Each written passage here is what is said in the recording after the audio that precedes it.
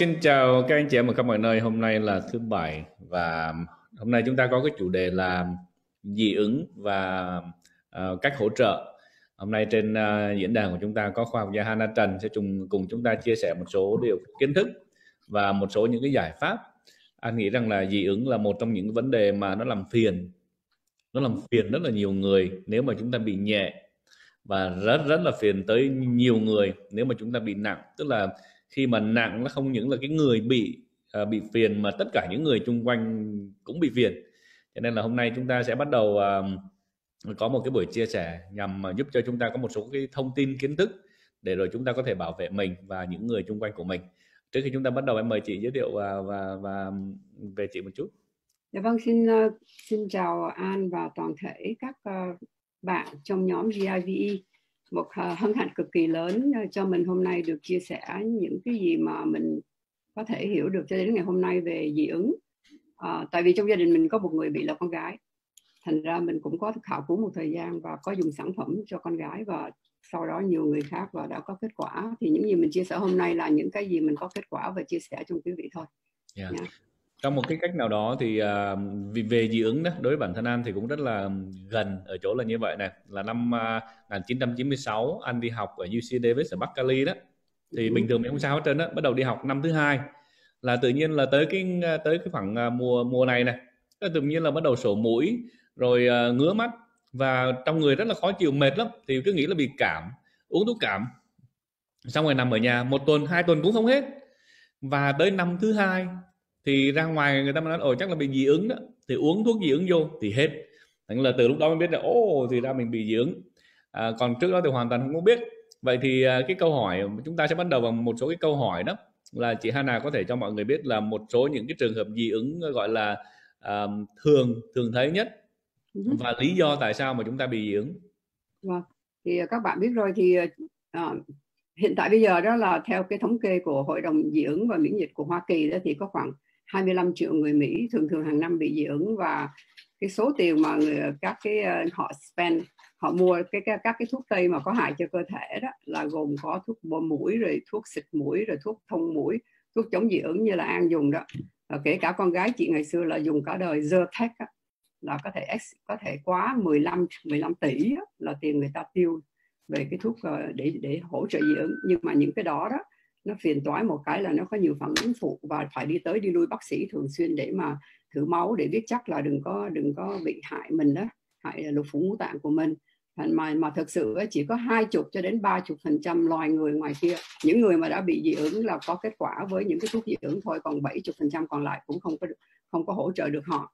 Thì uh, do đó là chị cảm thấy bây giờ đó là chị rất là rất là may mắn mà đã có một cái ờ, phương pháp tự nhiên mà đã hỗ trợ được con gái chị nói chung nói riêng và nói chung là chị cũng hỗ trợ được rất là nhiều người thì à. bây giờ để trả lời trực tiếp câu hỏi của An nó làm thế nào và tại sao dị ứng phát triển yeah. Dạ. hay là tại sao bây giờ thì à, mình có thể đi tuần tự một vài bước đó thứ nhất đó là một vài những cái trường hợp dị ứng mà chúng ta thường gặp và ừ. lý do tại sao chúng ta bị những cái trường hợp đó thì những cái trường hợp dị ứng thường gặp á, là bây giờ nếu mà bây giờ cho chị nói là tại tại sao bị rồi sau đó là gặp những cái gì? Bây giờ trường hợp thường gặp nhất là nó liên hệ tới cái đường hô hấp á.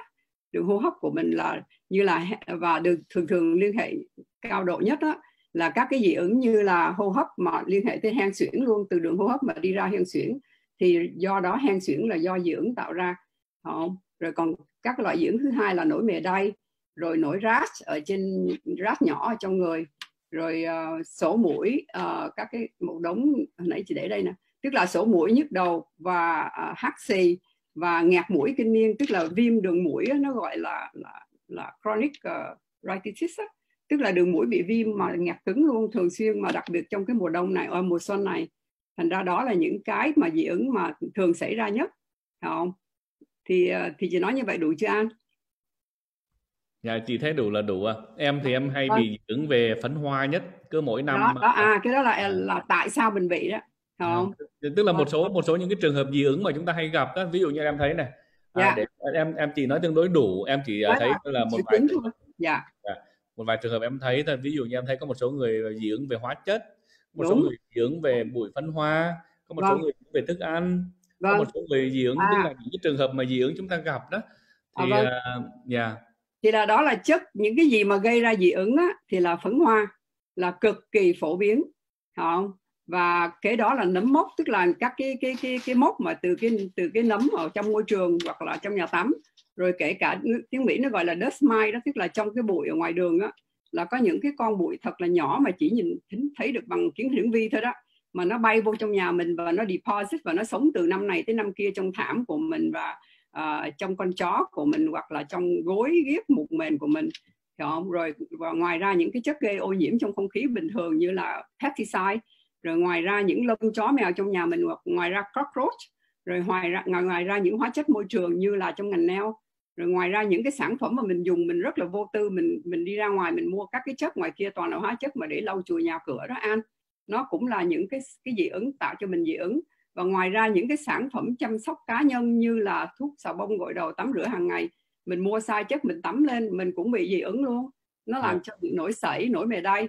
Và ngoài ra cũng là thực phẩm nữa thực phẩm mình ăn mà có nhiều có nhiều hóa chất có nhiều um, uh, conservative đó. Yeah. preservative đó thì chất ướp á thì nó cũng làm cho mình bị dị ứng nữa. Thì đó là những cái gì mà làm cho mình dị ứng mà thì không... À, nói chung là khi mà nói về dị ứng đó thì có rất là nhiều cái trường hợp khác nhau. Dĩ nhiên là nói về khoa học thì nhiều khía cạnh khác nhau nhưng mà nói về những cái mà một người bình thường có thể nhìn vào thấy đó. Hôm ừ. vừa rồi em không biết là chị có coi cái video clip này chưa? Có cái ông này á dịch mà dịch thì bây giờ gọi là bắt ở nhà. Thì người ta ừ. hỏi ông này như vậy này tôi cho ông hai cái chọn lựa. Một là ông ngồi ở nhà với ờ, vợ con. Hai thì người ta chưa kịp nói hai ông này hai hai cho tôi cái số 2 tức là ông này là chắc chắn là dị ứng với vợ con. Đúng không ạ? Vâng. yeah. cho nên bây giờ quay về cái vấn đề chính này tức là những cái mà em thấy để cho một người bình thường chúng ta có thể hiểu được. Dĩ nhiên là cái cách nhìn của chị là một người khoa học gia thì mình nhìn thấy uh, hô hấp và vân vân nhiều cái. Nhưng mà ví dụ như em đây em chỉ nhìn vào và em thấy là tôi bị dưỡng phấn hoa này lông chó lông mèo uh, thức ăn hoặc là thậm chí mình có thể đi ra mà nói tôi bị dưỡng uh, uh, mít này dưỡng uh, dưa hấu này rồi uh, vân vân dưỡng đậu phộng này uh, rất là nhiều cái như vậy đó. Thì uh, để cho mọi người chúng ta có thể hiểu được rồi chị đi vào sâu và chị giải thích là tại sao chúng ta có những cái dị ứng như vậy và thế tại sao tại sao là dị ứng và dị ứng là gì đó để chúng ta có thể hiểu. Vâng thì trước nhất thì chị uh, nói về cái vấn đề chị đi ngược lên trở lại là là và tại sao mình bị dị ứng đó, là tại vì dị ứng đó là cái phản ứng mà của cơ thể mình với các cái chất mà gây ra dị ứng cho mình những cái chất mà cơ thể mình tự nhìn nó và nhận nó là ngoại lai, tức là không phải thuộc về nó, thì cái dị ứng nó là một cái dấu hiệu cho thấy hệ thống của mình đang làm việc bị quá bị quá tải. Có vậy thôi thì nó có hai cái hai cái giai đoạn xảy ra khi mà dị ứng xảy ra đó. Lần đầu tiên đó, khi mà mình gặp một cái chất mà cơ thể mình nhìn nó và nói là đây là đây là cái chất mà tôi không thích, thì thì đây đây là cái cái cái vấn đề là dị ứng mà người nào mà nhìn thấy, cơ thể mình nhìn thấy cái chất gì mà nhận ra nó là chất mà ngoại lai tôi không thích thì nó để nó cho ra cơ, cơ cái cái phản dịch cái phản ứng dị ứng á, thì cái đó là có thể cũng cái cùng cái chất đó lúc mình trẻ mình không sao nhưng mà lúc mình già cái hệ thống miễn nhiễm về tiết tố thay đổi nó cũng làm cho mình dị ứng. Thành ra cái dị ứng người nào bị dị ứng chất gì đó khác nhau từng người một và không biết trước được ha có thể là như vậy. Thì bây giờ hai cái phản ứng sẽ xảy ra khi mình bị dị ứng. Thì lần đầu tiên đó thì là cái chất dị ứng á, thì khi mà khi mà mình gặp cái chất mà gây ra dị ứng cho mình mình nhìn cái chất đó như là ngoại lai đó thì cái tế, một cái tế bào những cái tế bào nó gọi là plasma nó từ cái cái tủy xương của mình tiết ra từ tủy xương của mình á nó sẽ tiết ra cái chất gọi là immunoglobulin E đó tức là IgE không? thì đây là một cái loại kháng thể đặc biệt mà à, đặc hiệu do cái chất dị ứng nó gây ra chẳng hạn như là như là ăn bị phấn hoa đó thì cái chất đó cái cái IgE nó là đặc biệt nó nó nó nó là customize bởi là từ cái cái IgE cái, à, cái IgE đó từ cái cái phấn phấn hoa đó mà thôi thì cái IgE này đó tức là cái kháng thể này đi gọi là kháng thể IgE đó thì nó bám vào bề mặt của các cái tế bào mà mô tế bào bên ngoài của mình. Những cái mô tế bào nào mà nó tiếp xúc với môi trường như là mô tế bào da mô chị cho một phút để em để, để em để em thông dịch cái này cái tại bắt đầu chị vào chuyên môn rồi là chúng ta sẽ lạc mất mất nhau. Dạ. à, để dựa vào những cái gì chị nói thì em hiểu như vậy này. Và để em dùng cái ví dụ cho đơn giản đây không vâng. biết là ở Việt Nam chị có bao giờ nuôi chó không chị có. nuôi chó đúng không? Ừ. gia đình em hồi xưa ở Việt Nam cũng nuôi chó không biết là ở trong này à, anh chị em ở Việt Nam chẳng hạn đấy có bao giờ nuôi chó không? Cái mục tiêu nuôi chó không phải là một kiểu Việt Nam chó nuôi là giữ nhà tức là để giữ ừ. coi ăn trộm vân vân khỏi vô nhà đúng không ạ? Và vâng. có những nhà có nhiều con chó lắm. Và trong cái nhà đó nếu mà người nào mà lạ vô thì con chó nó sẽ sủa. Và nếu mà làm gì con chó nó sẽ cắn. Đúng rồi. Thành là cái hệ miễn nhiễm của mình tương tự như vậy nè. Tức là khi mà cơ cơ thể của mình có một cái hệ phòng vệ và cái hệ phòng vệ đó khi mà có những cái chất gì lạ vào cơ thể của mình chất này vi khuẩn này vân vân à, bụi phấn này lông chó lông mèo nó vào trong người của mình qua đường mũi á, yeah. Ờ, dạ. thở vân vân á thì cơ thể mình nó sẽ phản ứng bằng cách là nó tiết ra những cái chất kháng thể cái chất kháng thể này giúp cơ thể mình chống lại những cái chất gọi là lạ lẫm đó nhưng mà ừ. có một vấn đề đó ví dụ nuôi chó đó cái này là gia đình em có từng bị tức Đúng là rồi. nuôi chó thì gọi là phòng người lạ nhưng mà có những lúc nó không biết là người nào mà lạ người nào quen luôn. Thành ra là hoặc là nhiều khi nó không phân biệt được người lạ nó cũng cắn người nhà nó cũng cắn hoặc là nhiều khi người lạ nó cũng cho vô và người quen nó cũng cho vô. Thành ra là nó nó không có làm được cái khả năng của nó là giữ. Thì cái cơ thể của mình cũng vậy khi mà nó tiết ra những cái chất kháng thể này một là đúng ra cái mục đích của nó là giúp cơ thể phòng vệ để chống bệnh chống những cái vật lạ. Vâng. nhưng một cách rất là vô tình là nó phản ứng quá đà với những cái vật mà không có hại. Ví dụ như là phấn hoa. Phấn đúng hoa rồi. không có hại cho cơ thể của mình nhưng mà cái cái hệ miễn nhiễm của mình không có biết.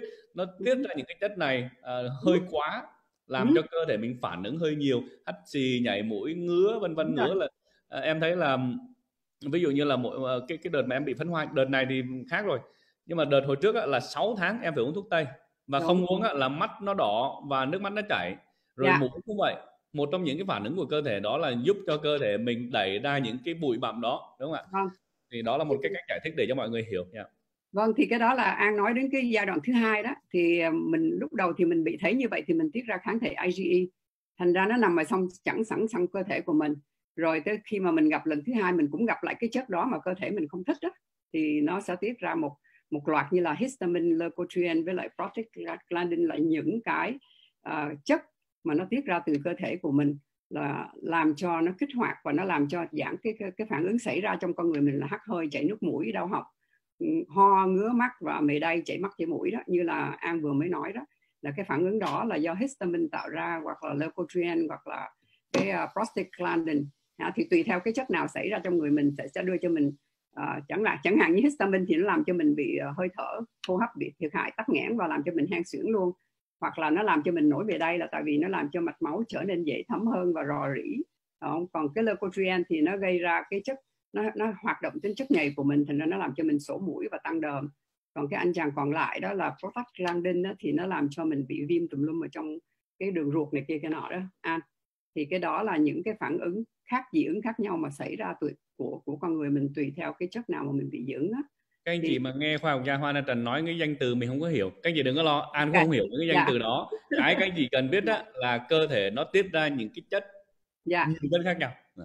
vâng dạ thì bây giờ đó tại vì um, dĩ như là những cái danh từ khoa học thì chị hiểu uh, vâng. một vài người khoa học sẽ hiểu người vâng. như em sẽ không có hiểu cái chất vâng. IgE ha vâng. uh, dĩ nhiên là cái mà chúng ta cần biết là như vậy này là những cái dị ứng uh, chúng ta thường gặp là gì nguyên nhân tạo ra những cái dị ứng đó và yeah. Dạ. cái hậu quả của nó là gì để rồi vâng. một lát nữa đó chúng ta sẽ đưa ra cái giải pháp để chúng ta có thể hỗ trợ cơ thể mình là như thế nào vâng rồi bây giờ thì à, bây, bây giờ thì à, có một cái dị ứng mà một số ít người bị đó thì chị nói nhanh ở đây thôi an là bị à, đường ruột đó nó gọi là hội chứng rò rỉ đường ruột tức là leaky gut đó một số ít người bị thôi là tại vì cái kết quả là tại vì uh, đường ruột các cái tế bào nó có cái nó, cái tế bào mà nó nó nằm ở trong cái thành ruột của mình nó đáng lẽ nó nó phải liền với nhau. Nhưng mà vì mình ăn bậy ăn hóa chất nhiều quá đó thì nó làm cho hư đường ruột của mình đó với lại xảy ra một số cái bệnh viêm ruột như là Crohn với lại viêm loét viêm loét đại tràng á hoặc là celiac á.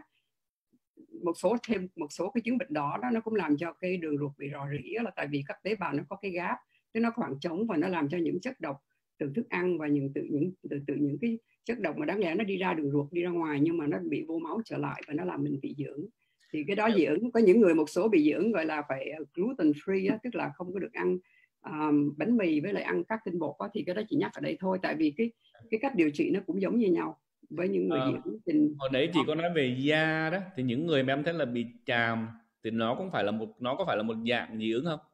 Um, đó. Eczema thì yes vâng là cái nguyên nhân của eczema là chính là vẫn là hệ thống uh, miễn nhiễm nó yếu. Thì đó là cái mà chị sắp sửa nói là uh, chắc an chưa hỏi tới nhưng mà nguyên nhân tại sao mình bị dưỡng phải không an? Đại khái như vậy. Vâng thì cái cái cái nguyên nhân mà mình bị dưỡng á, là chính là tại vì 80 phần trăm của của cái hệ thống miễn nhiễm mình nó nằm ở trong đường ruột. Và và dị ứng mình xảy ra đó tại vì tất cả những cái thứ mình ăn như là như lại như hồi nãy giờ mình nói mình ăn hóa chất mình ăn những chất không có uh, có nhiều chất độc và suốt đời như vậy. Nó làm cho nó làm cho giết hại đi tất cả những cái ờ, cái uh, con vi trùng tốt đó ở trong con người mình. Và khi mà con vi trùng tốt trong con người mình bị bị thiệt hại á, thì nó làm cho cái hệ thống miễn nhiễm mình thiệt, thiệt hại. Cái là 80 phần trăm nó là nguyên nhân là như vậy có vậy thôi. Thành ra mình phải bảo vệ cho đường ruột của mình nó tốt và 20 phần trăm còn lại là hệ thống miễn nhiễm toàn diện. Thì bây giờ chị nói 80 phần trăm để cho hệ thống miễn nhiễm đường ruột tốt đó thì để bảo vệ nó đó là cái trước nhất là mình phải ăn những thức ăn uh, um, organic. Hữu cơ là một và mình ăn nhiều cái uh, uh, marine omega 3 là hai. Thành ra nếu mà mình à, mình rõ ràng là và dạ, mình da u có hỗ trợ được không chị? Thì cái đó là chị sắp sửa nói tới đó thì là probio đó. Thì là được cái cái chất mà bảo trợ. Nếu mình ăn hàng ngày mình ăn các cái rau u hoặc là các cái cái cái cái cái cái cái, cái rau củ mà ngâm chua đó ở bên Việt Nam mình còn họ thì là tốt cộng với rau u rồi. Còn nếu mà mình nhắm mình ăn không đủ đó là mình phải uống thêm hỗ trợ cái probio. Ở đây ở đây. Cái probio này anh thì à. là đây đây là sinh vật đây là con vi trùng sống mà ở trong này và nó nó là vi trùng tốt nó giúp cho hỗ nó giúp cho 80 phần trăm của con vi trùng tốt trong đường ruột mình được phát để, để, anh giải thích cái này một chút thôi này. Cái này nó giống như các anh chị ăn những cái con vi sinh giống như da u vậy đó. Nhưng mà tuy nhiên các anh chị làm da u đó anh thấy một số các anh chị làm da u rồi. Các anh chị bỏ sữa đặc này sữa ông thọ này trong đó anh không biết là lợi bao nhiêu chưa biết nhưng mà hại thì rất là nhiều rồi đó. Vâng mình phải làm bằng uh, sữa sữa sữa tươi mà không có đường. Vâng vâng thì nhưng mà thì... như vậy là da ua mà sữa tươi không có đường thì ăn không được mới chết chứ bằng không, không thì uống mà ăn riết, không? không ngon nhưng mà ăn riết quen nó chỉ có người làm uh, Việt Nam ở bên Việt Nam làm New Skin chung với chị và cô này đã làm được cái cái màng này cho chị ăn thành à. ra thành ra ăn riết được quen nó ăn thì là dạ. do, do đó cái hệ thống mà phòng thủ chính của mình đó là nằm trong đường ruột của mình là tại vì 80 phần trăm hệ thống miễn nhiễm nằm trong đó mà mà mà tất cả những cái gì mà hư hại tới đường ruột của mình á là mình sẽ là đường ruột của mình nó bảo vệ tất cả bệnh tật và bao gồm dị ứng và hen suyễn nữa. Thành ra các cái thực phẩm chế biến và nó làm cho tiêu diệt cái vi khuẩn lợi ích của mình và nó tạo ra hư cái màng ruột của mình và hư luôn cả cái hệ thống miễn dịch của mình. Thành ra cái đó là cách ăn uống là đúng là ăn uống hữu cơ. Uh, ăn uống nhiều chất có vitamin omega 3 và sau đó mà nếu mình ăn uống không đủ thì mình uống cái probio. Còn cái omega 3 đó anh thì uh, mình nó nằm ở trong này nè nó nằm ở trong cái chị đưa ra cái này trước là tại vì sản phẩm này đang đang khuyến mãi hơi, hơi méo mó nghề nghiệp một tí nhưng mà khoan đã tại vì em cũng cần ờ, tại vì mình đi nhanh quá thì em sợ dạ. mọi người chưa nắm được cái thông tin đó tại vì vâng. cái em cũng muốn mọi người hiểu được đó là à, chúng ta có rất là nhiều cái loại dị ứng khác nhau và những cái dị ứng đó đa phần đều bắt nguồn từ cái hệ miễn nhiễm vâng và khi mà nói về hệ miễn nhiễm thì cái đường ruột của mình nắm một cái vai trò rất là quan trọng và dĩ nhiên là vâng. đường ruột nó liên quan với những cái gì mình ăn mình uống và ừ. một trong những cái mà chúng ta cần phải làm đó tại vì chúng ta không có để những cái chuyện này ừ. là chúng ta cứ cái gì cũng bỏ miệng hết. Nhưng mà chúng ta quên rằng là cái cái cái dạ dày và cái đường ruột của mình nó rất là nó nắm cái vai trò rất là quan trọng là ruột già ruột non.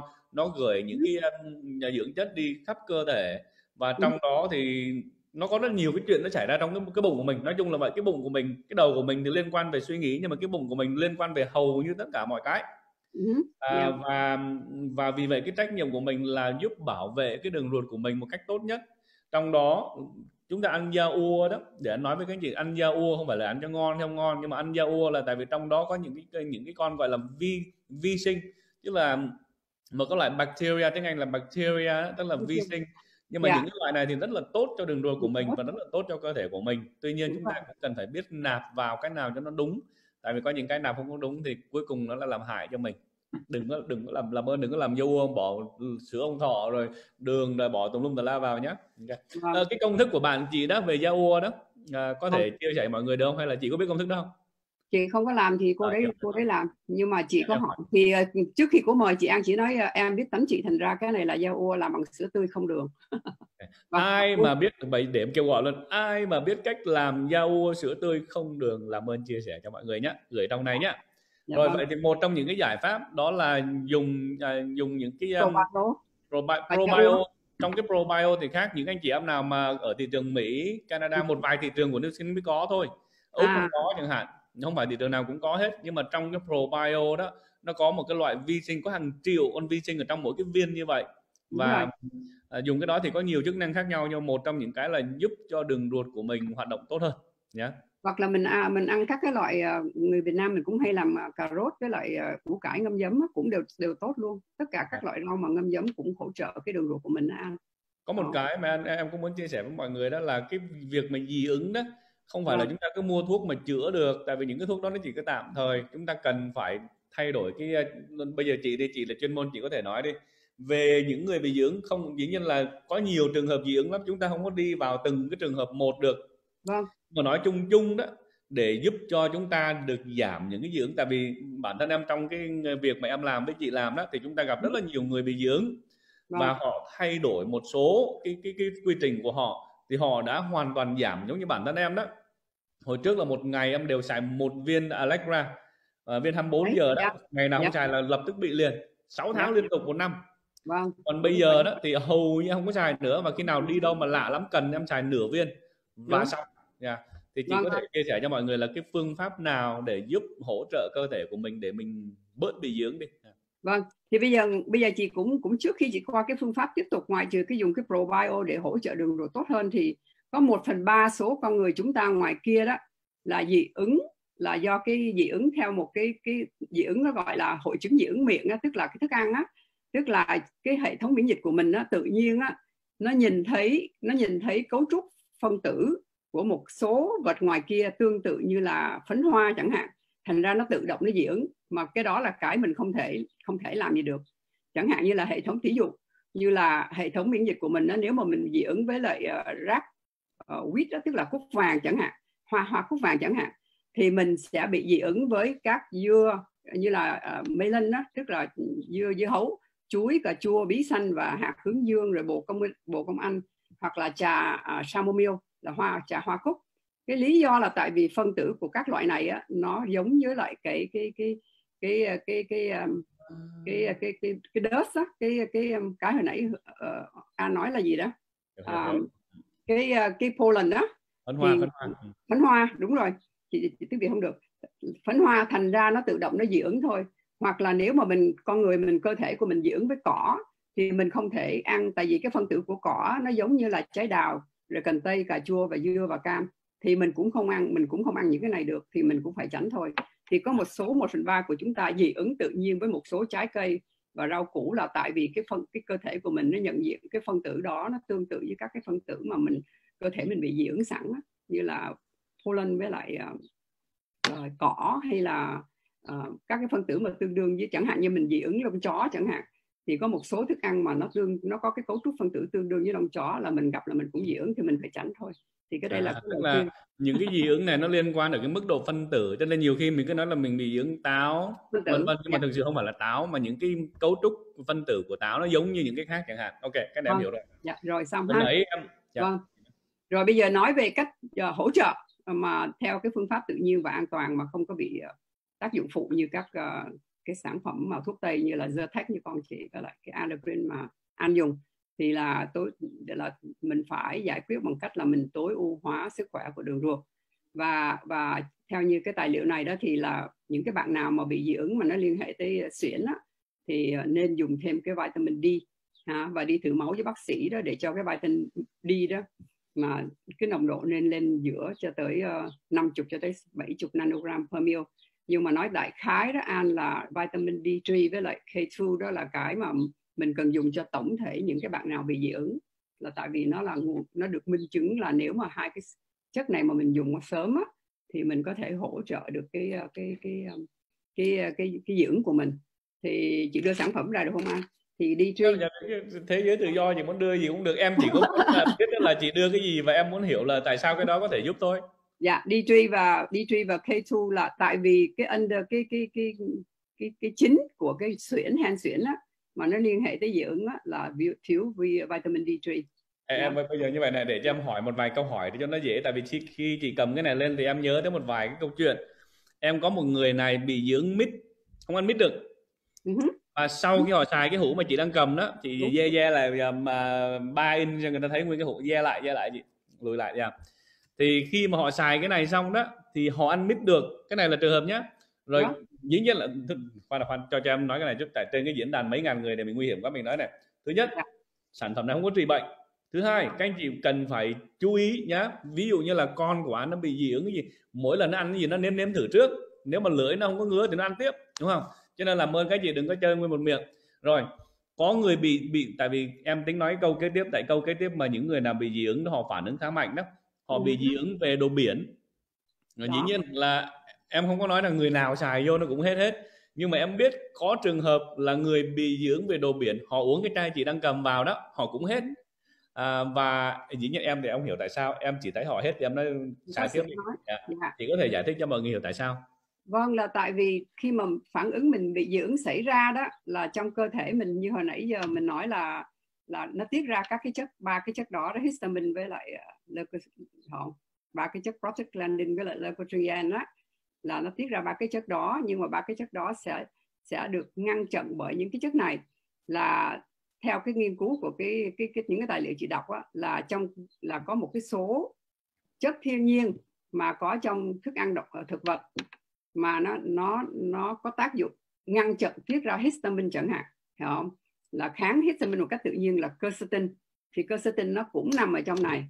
Rồi cái phản ứng viêm mà mình bị viêm rồi mình bị nổi mề đay á là sẽ được ngăn chặn bởi cái sự cân bằng của cái chất béo omega 3 omega 3 cũng nằm ở trong này là tại vì cái chất DHA và EPA của omega 3 đó nếu mà mình mình mình ăn bình thường đó là cái, cái chất ăn bình thường hàng ngày vì nhiều chất bảo quản và và và nhiều cái cái ờ, cái cái dầu ăn mà không tốt đó thành ra mình ăn thường thường á mình ăn nhiều omega 6 nhưng mà cái tỷ số của omega 3 và omega 6 á, phải bằng một để mà cơ thể mình không có bị biến dạng và bị viêm mà dẫn đến hen suyễn. Thành ra mình phải uống thêm cái omega 3 có trong này mà ra, tại vì cơ thể mình không tự tạo ra omega 3 được. Hoặc là mình phải ăn thêm các cái loại cá biển như là cá salmon chẳng hạn. Và nếu mình không ăn được cá biển nhiều như chị chẳng hạn, thì chị phải uống thêm omega 3 cái đó là cái chất thứ hai, nó cũng nằm ở trong này. Ờ, và cái chất thứ ba đó là hồi nãy chị nói ngược lại, đó là vitamin D D D3 với lại K2 tại vì D3 phải uống chung với K2 nhớ không? Thì nó lại D3 KH K2 á bác chị. Vâng K2 chị xin lỗi. K2 với lại uh, uh, D3 thì nó cũng nằm ở trong này. Tại vì D3 thì là cái nguyên nhân mà nếu bị thiếu sẽ bị suyễn và đưa đến asthma. Không? thành ra mình nó nó hỗ trợ. Nhưng mà D3 thì phải dùng chung với K K2 là tại vì nếu mà uống D3 mà không có K2 thì sẽ bị toxic bởi cái D3 thành ra nó đi chung với nhau và do đó công ty mình sản phẩm của công ty mình rất là thông minh là tại vì nó nằm ở trong này hết anh mà chị đưa ra cái này ra là tại vì nó đang on khuyến mãi đó anh. Nhưng mà sản phẩm khác anh, anh chị là đang tò mò cái chai đó là cái chai gì đó các anh chị? Cái chai đó nó gọi cái tên gọi là ở Mỹ là gọi là youth ở nước ngoài nó gọi là white span. Anh chỉ muốn bổ sung thêm một vài cái tại vì có một số anh chị em nghe đó lần ví dụ như là có này ủa cái kia rồi cũng uống cái này này cái này cũng uống cái này là tại sao? Tại vì thứ nhất chúng ta phải cần phải hiểu về khoa học là cơ thể của mình là sức cái sự cấu tạo của những cái tế bào và phân tử và những yeah. cái phản ứng của mình nó cũng ở mức độ tế bào và phân tử thì khi giống như bản thân ăn ấy, mình sinh ra là mình đâu bị dị ứng khi mà môi trường thay đổi thức ăn thay đổi thì tự nhiên cái cơ thể của mình nó thay đổi như vậy và tới một cái lúc nào tự nhiên mình bị dị ứng và ừ. những cái dược thảo giống như là cái white span age lock youth chị Hana đang cầm đó nó có cái chức năng để hỗ trợ cơ thể về những nhiều khía cạnh khác nhau và ừ. vì vậy đó có những người bị không phải là hết nhưng mà vì bây giờ cơ thể nó được quân bình hồi nãy anh thấy có một số người nhắn tin này có người bị dị ứng mít hết này có người bị dị ứng đồ biển hết này có người Đúng. bị dị ứng dưa hấu hết này. Đúng. tức là cái sự hỗ trợ về ở mức độ phân tử và tế bào đó chúng ta không có thấy được. Nhưng mà đây không phải là một cái sản phẩm để trị mà là một cái sản phẩm để hỗ trợ cơ cơ thể tạo ra một cái sức uh, gọi là mình nói cái ngôn từ dễ hiểu nhất là giúp cho cơ thể của mình có một cái sự quân bình. Cân bằng dạ đúng rồi. Thì um, thì ngoài ra đó có một cái số uh, uh, có một cái số nghiên cứu ở Thụy Điển và ở bên uh, một cái quốc gia khác đó mà người ta còn uh, còn cho thấy rằng các em bé ở bên uh, các cái nước đó đó được ăn cá tức là có nhiều chất omega 3 sớm hơn bình thường đó kể cả một tuổi vừa ăn được cái là họ cho ăn đó thì đã minh chứng rằng cái cái nơi đó các em bé ở đó đó không có bị dị ứng nhiều như ở bên Mỹ mình. Thì cái này là chị muốn đưa ra luôn nha thì đã tìm thấy trong cái cái tờ báo mà allergy của của của nước Mỹ mình ha có người thì, hỏi là các em bé thì có thể xài cái gì? Thì uh, omega 3 dầu rồi, dầu uh, cá cái gì nhé vâng cá. và vâng và vitamin D thì thì trong này quercetin thì wow.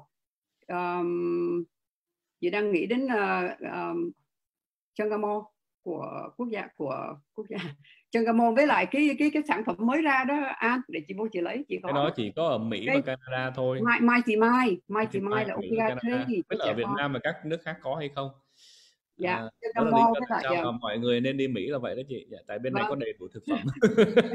Bergamo thì mình có C và D rồi. Mình có dạ, C dạ. với lại uh, D3 với lại dạ. uh, K2 còn cái mai thì mai đó nó có omega 3 tuyệt vời. Các bạn dạ. cho trẻ con nhá thì chị không chị không nhớ đến gốc. Tức là nếu mà anh chị em nào ở Mỹ và Canada à. thì có cái sản phẩm gọi là Mighty Mai nó một cái là giống viên kẹo rất là nhỏ mấy đứa nhỏ rất là thích. Yeah, thì, thì mấy đứa bé có. dạ. Vâng thì nó đang đang bán ở trên mạng đó các bạn. Thì các bạn lên nó mua thì cái hai sản phẩm là Chungamo với lại uh, Mighty Mai thì cho trẻ con ha. Rồi ngoài ra đó các, các An có một sản phẩm mình không thể không nhắc tới là AIE 10 AIE 10 đây các bạn. Chị khoan khoan khoan khoan. Chị đưa toàn là những cái sản phẩm chỉ có thị trường Mỹ và Canada và trong này có khoảng một nửa là ở nước vâng, ngoài không biết là vậy. vâng thì cái này là AI 10 là extra. Vâng extra. okay. à, là phụ thêm thôi. Còn còn thực ra đó AI 10 là tại vì uh, thêm tài liệu của công ty mình thì mình có. Còn ngoài ra những cái tài liệu chị đọc mà không có liên hệ đến New Skin á là ừ. sản phẩm uh, Alok Youth với lại White là đầy đủ hết rồi các bạn. Nhá còn White thì hầu như là thị trường nào cũng có hết các anh chị nhé vâng đầy đủ hết mà đang khuyến mãi nữa quá tuyệt vời luôn á. Nhá à, mà lẽ như xem còn nhiều khác. Nhưng mà vâng. bây giờ cái chuyện khuyến mãi cái chuyện khuyến mãi hay không ấy, thì các anh chị liên lạc với người nào giới thiệu họ sẽ nói cho các anh chị biết nhé chúng tôi không nói tất cả các thị trường. yeah. nhưng mà nhưng mà mình không quên là Lifehack Nano đều có các cái thứ đó. Lifehack yeah. Nano có omega 3 và quercetin và có cả K2 và uh, D3 à D3 và K2 dạ. Nhá thì Lifehack Nano đó thì yeah. chị nói vậy tùy các bạn thích thì uống thôi. Để nhiên uh, omega 3 nằm trong hai cái viên màu đỏ. Các bạn nhé vâng. anh thấy là nhiều anh chị em bắt đầu ờ, nhắn tin rất là nhiều cái đó. Thứ nhất là tụi anh không có thời gian để trả lời từng cái câu hỏi ngày hôm nay. Nhưng vâng. mà dĩ nhiên là những ai bị, bị dị ứng đó dị ứng chúng ta hiểu rằng là dị ứng là do cái hệ miễn miễn nhiễm của mình nó phản ứng với những cái uh, phần ở ngoài những cái phân tử lạ những cái phấn hoa vân vân và ừ. khi mà nó phản ứng mạnh quá thì nó tạo ra những cái mà gọi là cái gì mà quá thì nó cũng quá hết tức là ví dụ như là mình bị um, mình bị uh, chảy nước mũi này rồi yeah. Dạ. uh, mắt này rồi mình bị uh, viêm đó là những trường hợp nó xảy ra yeah.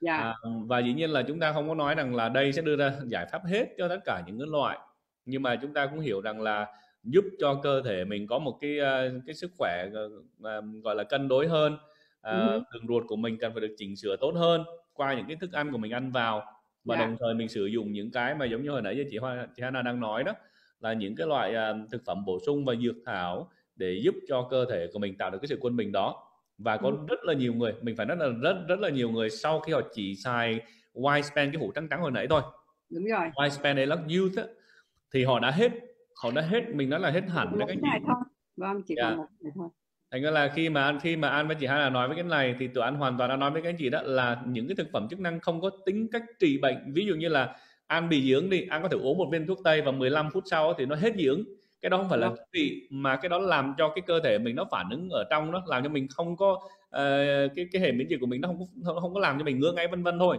chứ không phải là vâng. trị tại vì ngưng thuốc là nó, nó vẫn nằm ở đó mà đúng không ạ nhưng yeah. mà dạ. dược thảo có cái tính cách là hỗ trợ giúp cho cơ thể của mình tạo cái sự cân bằng vâng. đó là vâng. cái chính và cái mà chị Hana là đó là một trong những cái phản sản phẩm đầu tiên rồi thì, thì thì thật sự chẳng hạn như là cái tinh là nó nó ngăn chặn cái sự tiết ra histamine là cái phản ứng mà làm cho mình bị mề đay rồi chảy mũi tùm lum tùm la đó những cái phản ứng về cái đường đường cái cái, cái mô đường nhầy của mình như là mũi với lại cổ họng mình chạy bởi vì mình mới hắt xì mình mới ho rồi mình mới lên đờm nhiều tại histamine đó không? thành ra khi mà mình đi bác sĩ là người ta cứ cho histamine để uống thì nó là cái chất mà chống lại cái để ngăn chặn cái sự tiết ra histamine là do dưỡng mà ra là quercetin là nằm ở trong này.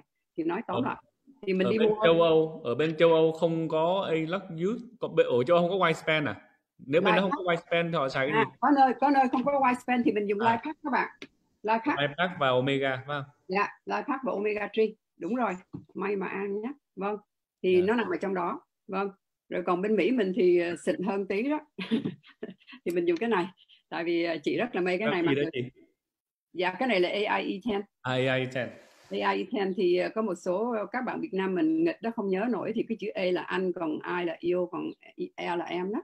Rồi số 10 đó thì à, anh yêu em gấp 10 lần đó. Cái này y ngắn nó bị dài chị nói ngoài chị nói chị nói ngoài đề này nha nhưng mà bà, các bạn đồng đội của chị bắt đầu dịch. Cái này là các cái bé trẻ nó nhớ ra cái này để nó nhớ cái tên đó.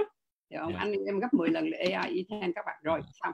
Thì cái này đó nó là cái thành phần của nó là chiết xuất chiết xuất của ván sữa tinh khiết và cung cấp cho cơ thể với một cái sự tập trung cao của các phân tử mà trọng lượng thấp để giúp hỗ trợ cái sự giao tiếp của tế bào miễn dịch.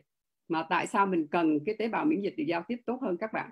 Thì khi mà hoạt động đúng đó thì hệ thống miễn dịch của của của cơ thể mình nó có thể phòng thủ một cách rất là uh, rất là đúng hơn. tuyệt tuyệt vời uh, là để duy trì sức khỏe mình tối ưu thì khi mà chức năng miễn dịch của mình bình thường nó thì bị ảnh hưởng bởi ba yếu tố là căng thẳng, lượng dinh dưỡng không đủ nè, và tiếp xúc với các chất ô nhiễm của môi trường. Và độc tố là mình bị hít vô mỗi ngày là phấn hương ngoài kia đó. Thì thì khi mà mình giới thiệu các cái cái cái yếu tố miễn dịch mà qua cái đường tải truyền thông mà quan trọng của tế bào miễn dịch mà nó được giao thương ờ, một cách tốt đẹp á, thì sẽ hoàn thành một cái số lượng ờ, làm cho hệ thống miễn dịch của mình một cách tự nhiên tốt hơn và do đó cái này mà những bạn nào mà bị dị ứng nặng quá đó thì dùng cái này. À, trong này có thêm một số người đặt câu hỏi. Bình thường thì chúng ta không có nhận câu hỏi trong những cái chương trình này tại vì bình thường tụi anh sẽ không có thấy được câu hỏi. Nhưng mà anh dùng cái form bên này anh thấy rằng là ví dụ như là bé 5 tuổi bị dị ứng trứng rồi đậu phộng thì bây giờ có thể dùng thuốc gì? Thì không không, không bây giờ cái, cái cái cái kinh nghiệm của chị đã xảy ra đó như là con chị ngày xưa là dưỡng đủ thứ các thứ trái cây á, tại vì cái cơ thể của nó nhìn cái phân tử bên ngoài mà như là cái kiểu mà dưỡng miệng bằng thức ăn á thì là thì là sau khi mà dùng dơ tách từ nhỏ cho tới lớn nhưng mà sau khi dùng mà lúc đó chưa có cái dút khi mà con gái chị bắt đầu dùng thì chị cho dùng cái này sau một thời gian tự nhiên cái hệ thống miễn nhiễm khỏe và và bây giờ con chị ăn tùm lum hết không có còn bị dưỡng cái gì còn lúc trước là dưỡng tất cả các loại trái cây yeah. anh chỉ lưu ý cho một số anh chị em có con nhỏ bị dị ứng đó cái điều yeah. đầu tiên là chúng ta phải rất là quan sát kỹ về những cái thức ăn của các cháu ăn không phải là để khỏi bị dị ứng à, tức là không phải là để tránh cái cái dưỡng với thức ăn đó nhưng mà cái quy trình ăn uống và dinh dưỡng nó nắm phần rất là quan trọng trong cái việc phản ứng của các cháu khi bị dị ứng đó vâng. thì mình mình quan sát rất là kỹ yeah. Ừ. thì câu trả lời của chị đó vẫn là hãy làm cho hệ thống miễn nhiễm của bé khỏe ra rồi nó tự nhiên sau khi khỏe ra rồi tự nhiên trở lại ăn cái thức ăn đó và không còn bị dị ứng nữa và tất cả chị đã có kết quả rất tốt từ người lớn và trẻ con rồi nữa thành ra bây giờ tùy theo tuổi đó thì mình dùng chân gamol với lại cái cái mighty mai đó rồi uh, sau một thời gian khi mà bé dưỡng khoảng cái cái hệ thống miễn nhiễm khỏe ra là tự nhiên cho ăn thử trở lại lại không sao nhá yeah. là tại vì cái cái cái kiểu mà như hồi nãy là phân tử cấu trúc phân tử của của của một số thức ăn nó giống như các cái chất dưỡng ngoài kia thành ra cơ thể mình nhìn nó thì cho đó là kẻ thù và tự nhiên dưỡng thành ra đa số thức ăn mình không ăn được là tại vì cái cấu trúc phân tử nó vô tình nó giống những cái gì mà mình dưỡng đó. và, và dĩ nhiên là các chị vẫn có thể cho um, các cháu xài nước gất hoặc là bên châu Âu đó. thì uh, GV những cái nước vâng. đó cũng giúp cho cái cơ cái cái hệ miễn nhiễm mình à, hoạt động tốt hơn. Vâng. đây là một số sản phẩm dĩ nhiên là một lần nữa anh xin cáo lỗi là chúng anh tụi anh không có nhận được những cái trả lời hết được tất cả những câu hỏi. Nhưng mà cái gì cũng vậy các chị anh thấy là số lượng người tham dự ngày hôm nay cũng khá đông. Và chúng ta hiểu căn bản về những cái dị ứng để chúng ta có những cái những những cái cái phương pháp để mà hỗ trợ. À, và anh chỉ nhắc lại với các chị một lần nữa thôi là dị ứng thì tới từ nhiều lý do khác nhau. Và và ví dụ bản thân anh đi khi mà anh đi học ở đại học anh không biết tại sao anh bị dưỡng anh chỉ biết rằng là tới ngày tới giờ là bắt đầu là mắt mũi mình là nó đỏ hết rồi nó nó sưng ra nếu mà không uống thì nó sưng ra. Dạ. và hồi đó thì cái giải pháp của anh là dùng thuốc tây. Anh uống thuốc tây thì nó hết ngưng thuốc tây là ngay lập tức ngày hôm sau là bị lại rồi. Thành ra là và sau một thời gian anh xài như vậy khoảng mười mấy năm cho tới khi anh biết tới New Skin thì mình cũng hoàn toàn hồi đó không có ờ, những người khoa học gia như chị Hana để giải thích cho mình về sản phẩm mình chỉ có trải nghiệm những cái sản phẩm thôi. Và tự nhiên tới năm sau thì mình thấy là dị ứng của mình nó giảm. Cái rồi năm sau nữa nó lại giảm cái mỗi năm nó giảm. Giảm tại sao mình biết nó giảm? Là tại vì cái số lượng thuốc tây mình uống nó càng ngày nó càng giảm. Ví dụ hồi xưa ngày nào cũng phải uống hết. Rồi sau này chỉ có hai ba ngày mới cần cần lắm mới uống một viên. Còn cho tới bây giờ thì lâu lắm anh mới xài khoảng nửa viên thôi. Thì mình biết rằng là những cái dược thảo trong nó giúp cơ thể của mình. Và yeah. anh, anh, anh hiểu tại sao mà chị Hana nói rằng là cần phải giúp về hệ miễn miễn nhiễm của mình. Dạ, dạ vâng thì ờ, các ờ, đặc biệt là các bạn mà bị hen suyễn đó, thì uh, dị ứng mà đưa đến hen suyễn nhiều đó cái bệnh này nó cũng làm khổ sở nhiều người lắm và nhiều khi cũng nguy hiểm tính mạng nữa. Thì có hai điều nữa mình cần phải nhớ đó là là khi mà bị cơn suyễn lên đó thì hay là tránh hẳn luôn là sữa mà pasteurized milk đó, sữa tươi ngoài kia đó thì nó qua cái hệ thống pasteurize đó thì nó không có tốt cho mình thành ra phải kiêng cái đó. Tại vì cái, một câu hỏi có một câu sorry em cắt lời chị em xin lỗi dạ. à, có người hỏi là những người làm trong ngành nail bị hóa chất nhiều vân vân đó rồi bị bị ngứa đấy thì họ nên xài những cái sản phẩm nào thì vẫn thế thôi là white span hoặc là youth uh, còn bên ngoài thì mình dùng uh, mình dùng ice dancer để chống ngứa hoặc là enhancer cái này là cái chị luôn dị, uh, dị ứng với lại hóa chất ngành nail các bạn nhá yeah. Dạ. và nếu mà bị nặng quá đó các bạn vẫn phải vẫn phải đi làm thôi đâu có bỏ chóp được thì uống thêm chung cho cái này thì đây là sản phẩm đề nghị cho các bạn ngành nail còn các bạn nào làm nail ở các nước khác mà không có thì mình dùng uh, uh, Life cộng với Marine Omega yeah. Dạ. tại vì nó có đầy đủ cơ quercetin với lại vitamin uh, D3 với lại D3 với lại K2 À, lại... như là chúng ta cũng biết này là bắt đầu với uh, nếu mà những thị trường nào có chúng ta bắt đầu với white span Alux Youth á và yeah. sau đó chúng ta có thể uh, nếu mà điều kiện tài chính cho phép chúng ta dùng thêm Lipac Nano hoặc là Lipac yeah. và Omega yeah. rồi uh, những cái thị trường nào có AI10 thì có thể xài ProBio thì có thể xài. Vâng vâng okay. vâng. Yeah. yeah. thì uh, em nghĩ là tạm thời như vậy là được. Mà guarantee guarantee là xuống xuống thuốc tây. Tại vì con gái chị là mười mấy năm thuốc tây xuống lâu rồi. Xuống lâu lắm rồi mà ngày xưa là chuối kỵ chuối kỵ nho kỵ táo kỵ tùm lum hết. Đa số các trái cây là kỵ là tại vì cơ thể nó nhìn những phân tử của những cái trái cây đó là dưỡng thành ra không cho con bé ăn con bé là bị nổi mề đay suốt ngày suốt ừ. đời yeah. cho tới lúc mà gặp New Skin thì chị cho lên có một cái sản phẩm duy nhất là Life Pack Nano tại vì cái lúc đó là cái kiến thức của chị nó còn giới hạn đó lúc đầu tiên á thì chị biết trong này nó tăng hệ thống miễn dịch và ừ. sau khi chị đọc chị biết là dị ứng là do hệ thống miễn dịch yếu mà ra thì chị cứ cho uống cái này uống uống bừa đó nhưng mà trong vòng của một năm con bé thoát thoát giờ thế vâng yeah. Yeah. Dạ. À, dĩ nhiên là có có nhiều người thì muốn kiến thức chuyên sâu hơn nhưng mà có một người chúng ta một số người chúng ta chỉ cần biết là đủ ví dụ ừ. anh đang nói chuyện với các anh chị như vậy nhé anh hoàn toàn không biết cái microphone nằm đâu hết trơn á. Anh chỉ biết là khi anh nói thì cái computer nó xử lý và các anh chị nghe. Thì ừ. những cái sản phẩm của mình nó cũng vậy đó các anh chị. Một là chúng ta dành thời gian để tìm hiểu rất là kỹ. Hay là chúng ta à, trải nghiệm và những anh chị em nào mà dị ứng hay là biết những người nào dị ứng đó một trong những cái bước đầu tiên là chúng ta trải nghiệm à, để xem cái cơ thể mình nó phản ứng như thế nào đúng không ạ? Và dược thảo thì dĩ nhiên là chúng ta cũng biết nó cần phải thời gian chúng ta hãy cho ít nhất là 3 tháng trải nghiệm để cho cơ thể mình nó thích nghi. Và bây giờ là cái thời điểm tốt nhất để chúng ta làm chuyện đó đúng không ạ? Wow. nên là những anh chị em nào à, mà mà có nhu cầu thì hãy liên lạc với người đã giới thiệu cho các anh chị người nào mà mời các anh chị vào đây hôm nay hoặc là người nào vừa gửi cái video này cho các anh chị thì uh, họ sẽ hướng dẫn cho các anh chị mở mã số và cái cách mua sản phẩm với giá sỉ. Các anh chị nhé mua sản phẩm với giá sỉ còn uh, hôm nay thì thời gian chúng ta cũng sắp hết. Biết chị Hana có lời nhắn gửi gì cuối cùng với mọi người không? Chị quên dặn là phải tập thể dục. Tại vì thể dục được minh chứng là làm cho hệ thống miễn nhiễm mình khỏe ra các bạn. Thì cái đó là cái cuối cùng mà chị cân nhắc trong những cái cái, cái ngoài ngoài trừ yeah. Dạ. những vừa mention ngày hôm nay thôi. Thì hệ thống miễn nhiễm thật sự là quan trọng nhất. Thì mình phải ăn uống đúng thôi mình phải tránh mình phải ăn organic và tránh ăn đồ ăn bảo quản. Ăn cái gì cũng phải natural. Và chị, ờ, chị nói về tập thể dục là vào phút cuối nó hơi hơi hơi hơi hơi khổ đây tại vì có nhiều người lại bị dị ứng với tập thể dục mới chết chứ vâng nhiều lắm, nhiều lắm. vâng dạ yeah. Ok, em cảm ơn chị Hà là rất là nhiều. À, hôm sau chúng ta sẽ làm một cái chương trình là những người bị dị ứng với tập thể dục á. Thì nguyên do là tại sao chúng ta phải làm gì và làm bằng cách nào để hết bị dị ứng tập thể dục nhé. Vâng. Còn hôm nay đó thì những cái dị ứng về phấn hoa, những cái dị ứng về thức ăn vân vân á thì có những cái giải có nhiều cái giải pháp khác nhau. Nhưng mà chúng ta hãy hãy thử cái giải pháp này với những cái dược thảo để giúp cho cơ thể của mình tạo cái sự cân bằng à, và tự nhiên. Các chị nhá. Còn uống thuốc tây thì giống như hồi nãy chị Hana có nói nó có nhiều những cái tác dụng phụ về gan về về nhiều cái khác. Cho nên là tốt nhất. bạn, vâng chỉ có một uh, trường hợp có một bà mẹ mà có em bé đó rồi cứ bị nổi mề đay với sảy suốt ngày đó thì té ra là tại vì shampoo, shampoo với xà phòng của em bé là là chỉ biết cái tên của cái hãng họ dùng nữa nhưng mà không không nên nói ra đây à, không muốn nói xấu hãng khác thì ờ, thì sau khi mà họ gọi liên liên lạc chị là sao con em cứ nổi mề đay và mắc sưng hút suốt ngày thì chị nói bây giờ điều tra kỹ chị nói là bây giờ thay đổi xà phòng giặt đồ thì đi kiếm những cái gì mà natural là một với lại nhưng mà tắm cho em bé thử thay đổi cái sản phẩm uh, tắm của em bé mình đó shampoo với lại ấy của em bé mình đó con bé hết luôn wow. Vâng. thì nó là đó là những cái mình không để ý nhưng mà thật sự nó làm khổ sở cái đứa bé gãi cho tới tới ngủ mà vô tình gãi cho tới chảy máu luôn mà ừ. bao nhiêu tháng rồi mới mới mới, mới được giải thoát từ cái cái cái shampoo của công ty mình làm bằng hoa thủy tiên hay là gì đó vâng. wow Yeah. Ok, rồi em à, cảm ơn chị Hana một lần nữa và cảm ơn các anh chị đã theo dõi. Hy vọng rằng là cái Zoom của ngày hôm nay, à, cái buổi chia sẻ ngày hôm nay giúp các anh chị có những kiến thức căn bản về dị ứng và những cái phương pháp hỗ trợ cơ thể của mình. Chúng ta Vâng. giúp đỡ nhau và giúp đỡ mọi người các anh chị nhé. Xin cảm ơn các anh chị và Dạ, hẹn gặp lại. các bạn và cảm ơn anh Dạ, cảm ơn chị.